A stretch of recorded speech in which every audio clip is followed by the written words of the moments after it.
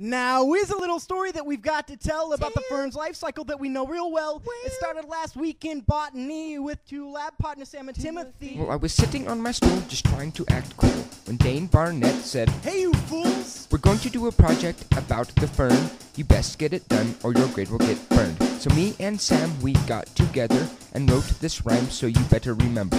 The fern's life cycle, cause it's legit, so try your best to not forget.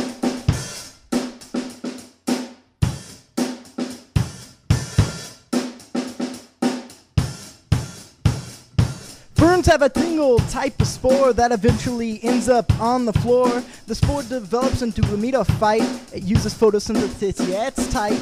It develops its own gametangium. This is the part that works your cranium. It is Archegonia and Antheridia too. They fertilize each other, make a zygote, it's cool.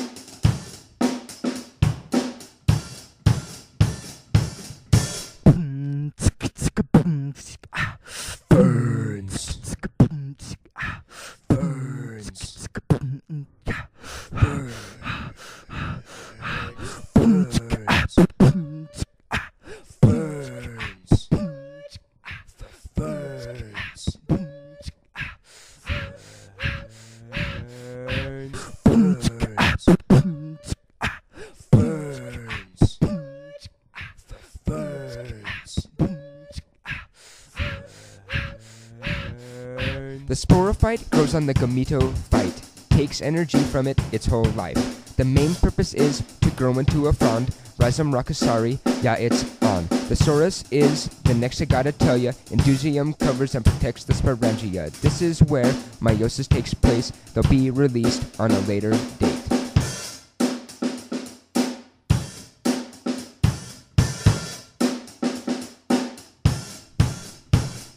This is where the cycle repeats itself. Don't put this knowledge up on a shelf. Making more ferns is the purpose here.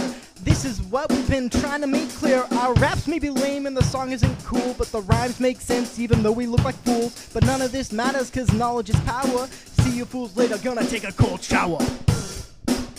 The fern, yeah, uh. Talking about the fern.